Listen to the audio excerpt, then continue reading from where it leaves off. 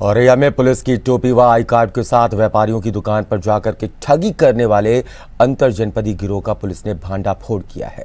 साथ ही पुलिस ने अंतर जनपदी गैंग के चार सदस्यों को गिरफ़्तार कर उनके पास से चोरी का लाखों का सामान बरामद किया। पुलिस के आला अधिकारी के अनुसार पकड़े गए आरोपियों पर अलग अलग जनपदों में मुकदमे दर्ज हैं। वहीं इस गैंग के खुलासे के बाद पुलिस के साथ साथ व्यापारियों ने भी राहत की सांस ली है।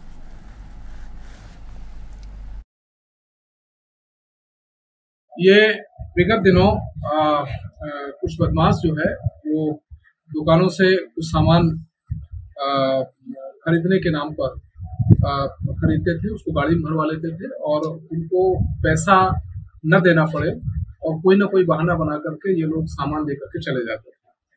ये आज मुखबिर की सूचना पर आ, इनको थाना अरवा कटरा के देईपुर के पास एसओजी टीम और हमारी जो अरवा कटरा की टीम है उन्होंने इनको पकड़ा है। इनके कब्जे से ये चार बदमाश हैं और अंतर जनपदीय गैंग है। इसमें सुशील यादव नाम का एक व्यक्ति है जो इनका सरगना है और उसी के संरक्षण में ये सब लोग अपराध करते हैं। इनके कब्जे से आज 11 बैटरी मिली है चार इन्वर्टर 200 लीटर सरसों का तेल और 255 लीटर लीटर रिफाइंड तेल और पचपन सौ सत्तर रुपए।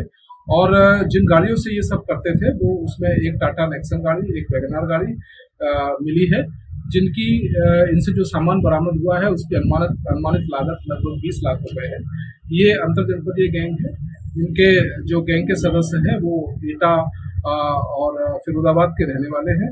और इन्होंने बहुत सारे कई जनपदों में जो है, इस तरीके की वारदातें की है। अगर आपको हमारा वीडियो पसंद आया हो तो हमें लाइक करें सब्सक्राइब करें और ज़्यादा से ज़्यादा शेयर करें। और हाँ बेल आइकॉन दबाना ना भूलें, ताकि हर खबर का अपडेट आप तक पहुँचे तुरंत। आप हमें इंस्टा ट्विटर और फेसबुक पर भी फॉलो कर सकते हैं। हमारी आईडी है at the rate J M D news